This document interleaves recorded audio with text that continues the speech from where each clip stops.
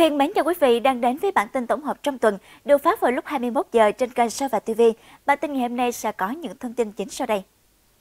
Chiều nay ngày 15 tháng 3, trên các diễn đàn mạng xã hội, nhiều bài đăng lên tiếng kêu gọi sự chung tay giúp đỡ từ mọi người sau sự việc đau lòng của một cụ ông. Được biết, cụ ông hiện nay đã 86 tuổi và vẫn còn đi làm bảo vệ ở một quán ăn để kiếm sống qua ngày. Thế nhưng mới đây, một tên đã bẻ khóa lấy mất chiếc xe máy thuộc hiệu quay trị giá 16 triệu đồng. Sau khi bị trộm cưỡng mất xe máy, cửa hàng nơi bác làm việc chỉ hỗ trợ một nửa giá trị chiếc xe xem như đền bù. Đáng nhẽ ở tuổi của bác đã phải ở nhà nghỉ ngơi bên gia đình, con cháu, vậy mà bác phải đi làm bảo vệ từ sáng sớm đến tận chiều tối. Mình hy vọng những bạn có lòng hảo tâm có thể đến thẳng tiệm giúp đỡ bác ạ. À. Lời chia sẻ của một tài khoản tên là H về bác bảo vệ của hoàn cảnh khó khăn này. Hiện tại, bài đăng kêu gọi quyên góp trên diễn đàn mạng xã hội đã nhận được hơn 1.000 lượt tương tác với gần 100 lượt bình luận và 90 lượt chia sẻ. Nhiều người dùng mạng còn không ngừng xin số tài khoản của người đứng ra giúp đỡ để tiện gửi tiền vào giúp đỡ. Cuộc sống khó khăn lại thêm tuổi già nhiều bệnh nhưng vẫn phải bươn chải mưu sinh qua ngày. Nhiều người qua đường không khỏi xót xa cho hoàn cảnh của bác nên lên tiếng kêu gọi sự giúp đỡ từ nhiều người. Mới đây, đoạn clip xúc động được chia sẻ khiến nhiều người nghẹn ngào. Clip ghi lại cảnh cụ bà 100 tuổi ngồi cạnh giường nắm chặt tay người chị 103 tuổi đang ốm nặng mà dàn dụi nước mắt. Trong clip, cụ bà còn hát cho chị gái mình nghe, tay vẫn nắm chặt tay của chị mình. Liên hệ với chị Nga, người đăng tải clip, chị cho biết cụ bà nằm trên giường là Trần Thị Ba, cụ còn lại Trần Thị Bốn, em gái ruột cụ ba. Chị Nga là cháu nội của cụ ba. Hai cụ hiện đang sống tại Nghệ An, nhà cách nhau khoảng 8 km. Bà ba có hai lần bị té gãy xương nên sức khỏe yếu. Trước Tết, bác sĩ chẩn đoán bà ba bị viêm màng phổi, tưởng sẽ không qua khỏi. Nhưng bà đã mạnh mẽ ở lại với con cháu cho đến giờ phút này. Hôm ngày 14 tháng 3 vừa qua, bà ba ốm nặng, cứ nặng nặc đòi gặp em gái. Gia đình đã gọi con cháu đưa bà bốn sang gặp chị. Hai chị em người nằm, người ngồi và nắm chặt tay nhau. Chị Nga xúc động kể lại. Biết chị gái thích nghe nhạc, bà bốn đã cất giọng hát tặng chị một bài. Vừa hát, bà bốn vừa nắm tay chị, nước mắt giàn dụa. Á ba ơi, em là bún đây.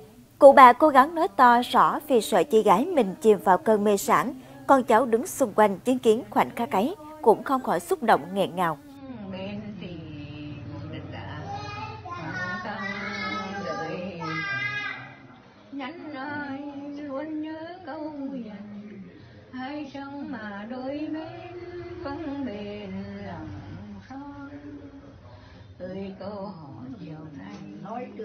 Sao mang nặng tình ai? Hay là em bên ấy qua mấy năm tiếng sao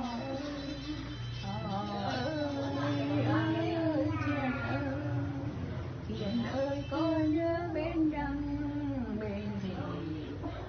dạ nhắn ai luôn nhớ câu nguyện hai sống mà đôi bên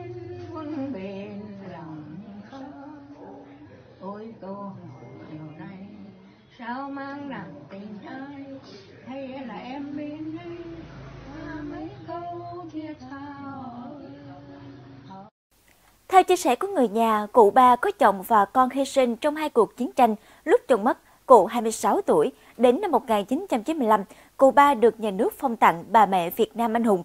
Hiện cụ ba đang sống trong gia đình có 5 thế hệ, cụ bốn sống trong gia đình 4 thế hệ. Hai bà đều được con cháu yêu mến vì tính cách thật thà, tình cảm và luôn răng dạy con cháu những điều hay lẽ phải. Suốt những ngày gần đây, Thơ Nguyễn trở thành tâm điểm của sự chú ý trên mạng xã hội thêm một cách không mong muốn. Nữ YouTuber bị ném đá vì đăng clip giả búp bê Kumathong trên TikTok 900.000 follow. Vụ việc khiến Thơ Nguyễn bị mời lên làm việc với Thanh tra Sở Thông tin và Truyền thông tỉnh Bình Dương và nghiệp vụ công an tỉnh. Chính vì vậy, người hâm mộ của YouTuber Thơ Nguyễn tỏ ra bức xúc khi thần tượng bị mọi người ném đá chỉ trích. Dân tình của Mỉa Mai không ngớt nữ YouTuber, song màn cà khịa đỉnh cao nhất phải kể tới bản tin của VTV. Em không là nàng thơ, em chỉ là YouTuber kim TikToker, kim xuất thành luật sư, Thế nên lời xin lỗi này của Thơ Nguyễn chỉ càng như đổ thêm dầu vào lửa khiến cho sự phẫn nộ của cộng đồng tăng cao, giống như lời bài hát, Năng chiếu lung linh muôn hoa vàng, mình xin lỗi, mình xin lỗi được chưa? Hàng loạt những thông tin bất lợi cho Thơ Nguyễn có vẻ khiến fan của cô nàng đứng ngồi không yên. Trên mạng xã hội xuất hiện không ít group, bà đăng kêu gọi bảo vệ chị Thơ Nguyễn. Hầu hết các tài khoản này đều là những em nhỏ, họ bức xúc vì cộng đồng mạng đạp đổ bát cơm của chị Thơ Nguyễn. Chưa dừng lại tại đó, có tên rút fan của Thơ Nguyễn còn kêu gọi 1 tỷ để đánh sập VTV. Có lẽ fan của nữ youtuber này vẫn cây cú vì màn cà khịa đỉnh cao của nhà đài. Cách viết đúng kiểu thanh cót, cùng ý tưởng dở hơi này khiến nhân tình cười không ngớt. Nhiều người nhận định đây có thể là các em nhỏ còn trẻ nên chưa trải sự đời. Sau khi biết sự xuất hiện của những bài viết và rút này, đa phần dân mạng đều tỏ ra ngán ngẩm. Tuy nhiên, không ít người lại đặt nghi vấn liệu đây có phải là âm mưu của một số kẻ hồng trục lợi tạo giúp rồi lại ra bán như giúp anti Hương Giang, anti Hải Tú.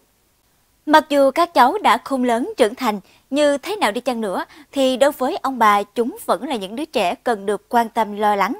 Khi đã lớn tuổi, chẳng thể giúp được gì nhiều, thì một trong những cách thể hiện tình yêu là cho các cháu những đồng tiền mình chắc chiêu dành dụm được. Chủ nhân của đoạn clip chia sẻ, khi cụ biết tin cháu đi làm xa, cụ năm nay có 104 tuổi thôi mà, Đoạn clip đã nhanh chóng thu hút hơn 2 triệu lượt xem, hàng nghìn bình luận từ cư dân mạng. Khi nghe tin cháu trai chuẩn bị đi làm xa nhà, cô bà tay cầm 302.000 đồng nhất quyết dúi vào tay người cháu trai. Cô bà nay đã ngoài 104 tuổi, lưng đã còng, miệng cũng mớm mém, tay run run nhất quyết bắt cháu nhận tiền. Khi người cháu trai liên tục nói từ chối không muốn nhận, cô bà kiên quyết nói, cụ cho phải cầm, cụ cho lấy mây. Chẳng có cách nào khác, người cháu đành nhận lấy cho cụ bà yên lòng.